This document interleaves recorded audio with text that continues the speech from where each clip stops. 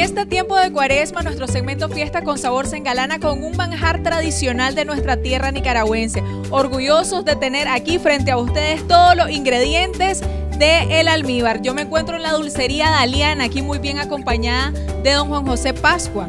Él nos va a comentar un poco cuáles son los ingredientes y cuál es la preparación, ¿verdad? Que es mejor saberlo de manos de aquí de los expertos.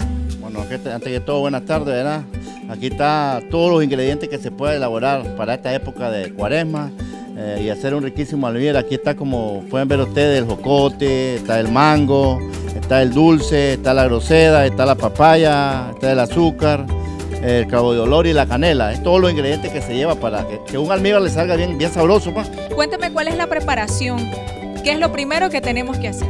Bueno, realmente para hacerlo, lo primero que se tiene que hacer es ponerse un galón de agua en, un, perol como le llamamos nosotros y se pone por un lapso de unos 20 minutos a una temperatura bastante caliente para después de que eso esté caliente se pase el jocote y después se pincha el jocote eh, también igualmente se hace con la groseda. La papaya eh, lleva otro proceso porque se pela, se pone su ratito a, a, zancochar con un poquito de, de, cal, un lapso de 5 minutos. Entonces ya eso, ya, ya ahí esa es su preparación de eso. El mango se pela y ya por pelado se pone a un perol eh, con, una, con dos bolsas de, dulce, como le llamamos nosotros, y un punto de unas dos libras de azúcar y se le da un lapso de, 30 minutos. A la, ya esa es la miel.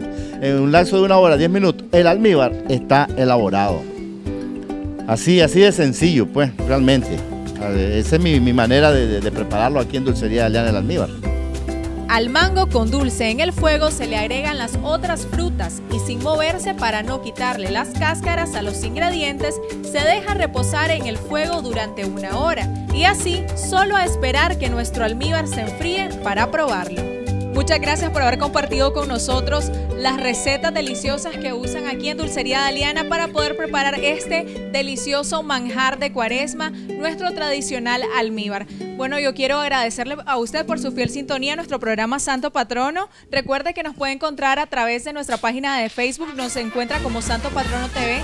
También nos puede hacer llegar sus comentarios a través de nuestro correo electrónico santopatrono.com. Espero hayan disfrutado, así como he disfrutado yo y como hemos disfrutado toda la producción de Santo Patrono, hacer este especial de Cuaresma para ustedes, para que puedan disfrutar y conocer de nuestro bello país y poder acercarse a lo que son nuestras raíces. Soy Andrea Carballo, nos vemos en el siguiente fin de semana con más de las tradiciones de nuestra bella Nicaragua aquí en Santo Patrono.